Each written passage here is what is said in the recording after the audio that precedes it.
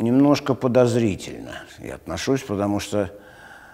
настолько, насколько звезды, как я их знаю, они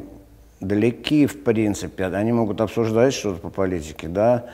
зачастую это добрые люди, как вот Дропека, например, но, значит, она уже что-то успела поднатореть как-то там, ну, так я так в основном я смотрю, что они там только сидят ради пары, пары сессий выбранных и ради пенсии.